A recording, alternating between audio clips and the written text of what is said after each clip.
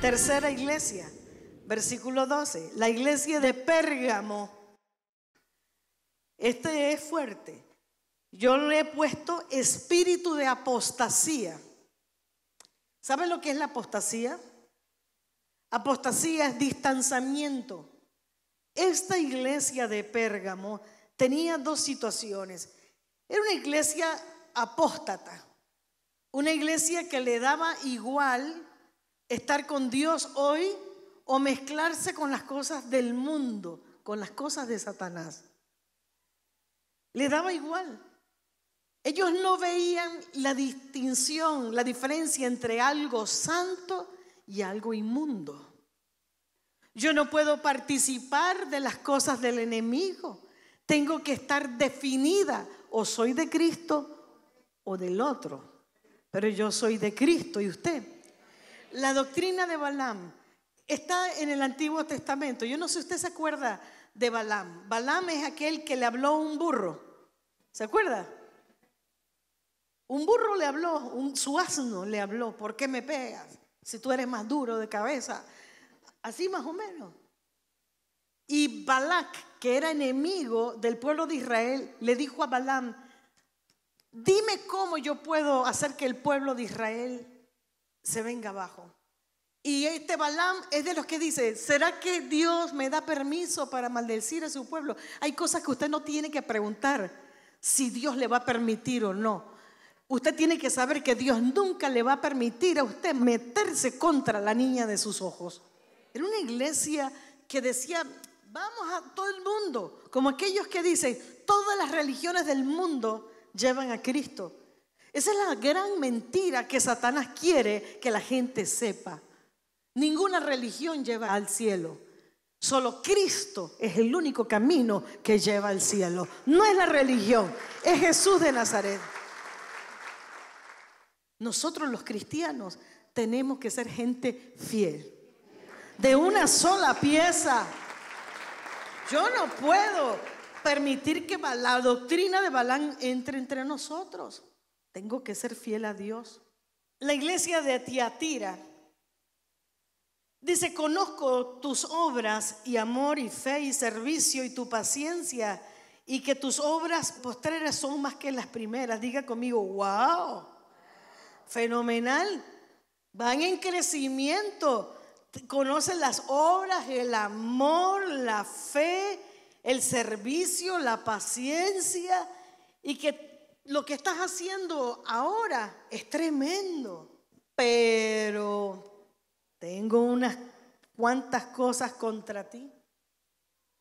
Yo nada más aquí hago un, análisis y un altito para que usted piense. Gloria a Dios que nadie escucha tus pensamientos, solo Dios. Pero piensa, si Dios te estuviera haciendo ahora mismo una radiografía de tu vida, ¿Cuál sería el pero que te encuentra? Había aparentemente una mujer dentro de la iglesia de Tiatira llamada Jezabel. Esta mujer Jezabel aparentemente ella era una mujer de mucha influencia que entró imponiendo su forma de pensar. Ella le llamó la atención posiblemente las cosas de Cristo, pero quería traerse el mundo a las cosas del Señor. Le gustó el cristianismo, pero dice la Biblia que ella seducía a los cristianos para que estuviesen con ella en fornicación. Les enseñaba su doctrina a la iglesia de Tiatira.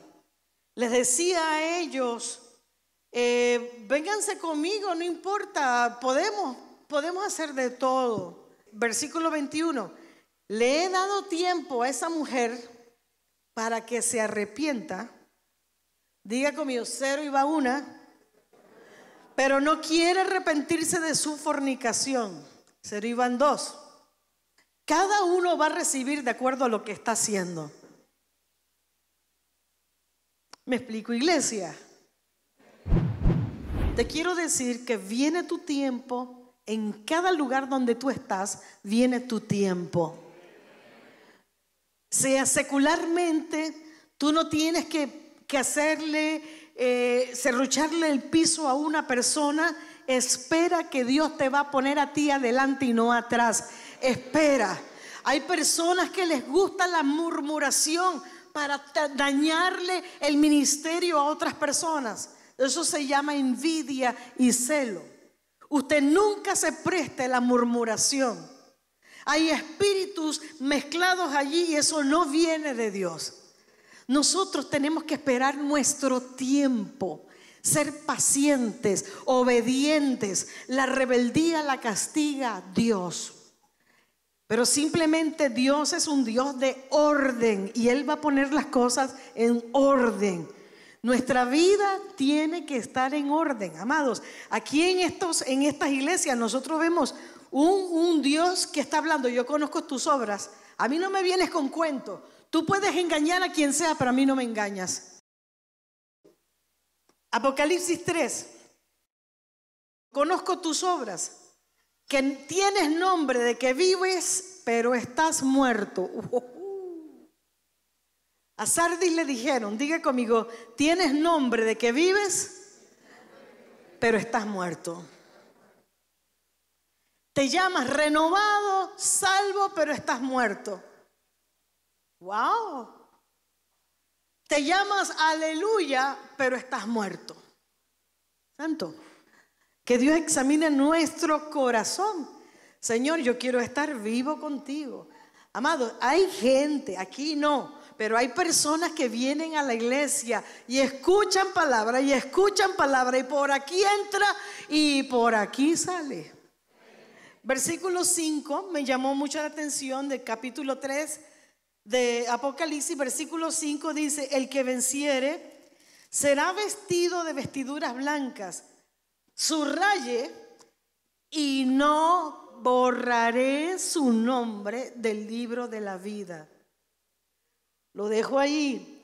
Si Él está diciendo, no voy a borrar tu nombre si vences, ¿qué, significa lo otro?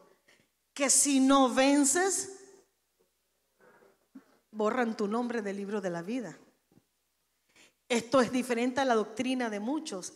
Hay doctrinas en algunas iglesias evangélicas que dicen, tú puedes hacer lo que sea, que Dios te perdona.